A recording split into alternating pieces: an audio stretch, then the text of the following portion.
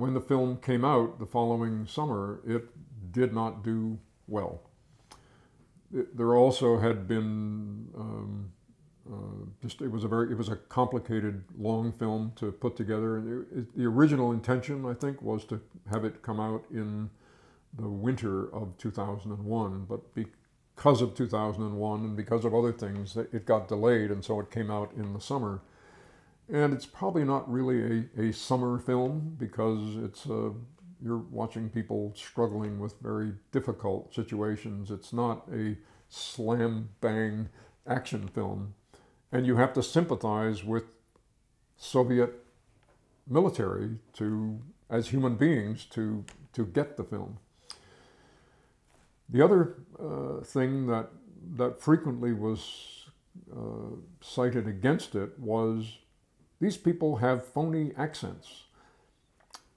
And in fact, what you hear is people speaking English with a dusting of Russian accent. And certain films can get away with it. I made a film, or I edited a film, Unbearable Lightness of Being, which is exactly that. We are looking at people who are Czech people talking to each other at home, and we're hearing English. And what we're hearing is English with a Czech accent. But what is that? because they don't sound Czech to each other. They sound like they're just, that's just their normal language. They don't have an accent, but we do as the audience. So, from a certain point of view, they should just be speaking with their normal uh, accents. Daniel Day Lewis's English accent. But that isn't quite right either. So, films get into this funny place where certain films feel that the right solution is this twist. And I think the added element uh, to look into consideration there is that on Unbearable Lightness, which was not a wildly popular film, it didn't make a lot of money and was not seen by millions and millions of people. Also, nobody knew at that time who is Daniel Day Lewis and who is Juliette Binoche and who are all these other Eastern European, Lena Olin, well, who?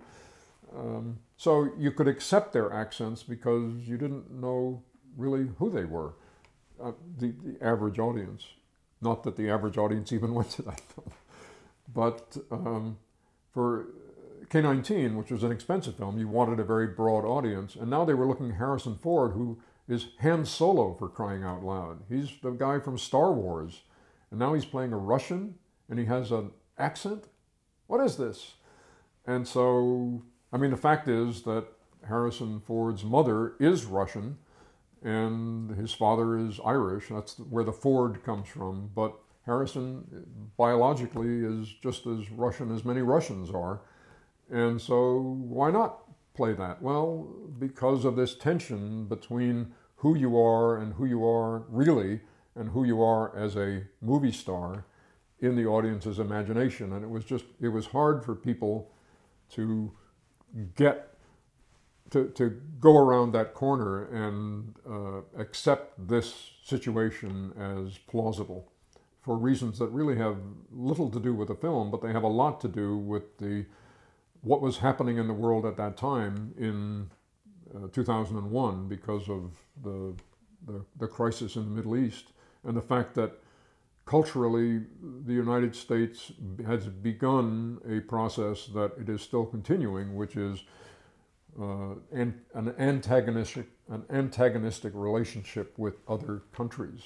We don't now generally want to understand those other countries. We want to build walls and we want to keep them out. And this is a worldwide phenomenon that has just gotten more serious. Whereas K-19 was made at a time where the hope was that this would be shifting. The Berlin Wall had come down and things were um, uh, opening up in a way that was uh, more hopeful than in fact they had turned out to be.